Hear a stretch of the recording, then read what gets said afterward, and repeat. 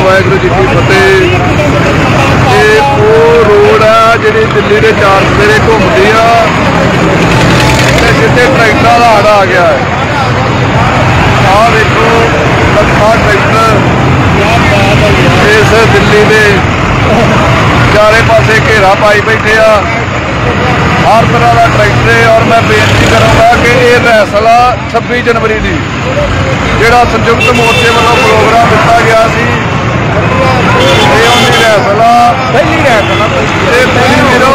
ਪੰਜਾਬ ਦੇ ਟਰੈਕਟਰ ਬੜੇ ਘੱਟ ਨੇ, ਹਰਿਆਣੇ ਦੇ ਟਰੈਕਟਰ, ਯੂਪੀ ਦੇ, ਰਾਜਸਥਾਨ ਦੇ ਜ਼ਿਆਦਾ ਨੇ। ਸੋ ਤੁਹਾਨੂੰ ਅਪੀਲ ਕਰਦੇ ਆ ਕਿ 25 ਤਰੀਕ ਨੂੰ ਪਹੁੰਚੋ ਇੱਥੇ ਸਾਰੇ ਤੇ 26 ਤਰੀਕ ਨੂੰ ਆਪਾਂ ਸਾਰਿਆਂ ਨੇ ਟਰੈਕਟਰ ਕੋਈ ਵੀ ਇਹੋ ਜਿਹਾ ਪੰਜਾਬ ਦਾ ਜਿਹੜਾ ਘਰੇ ਰਹਿ ਜਾਵੇ।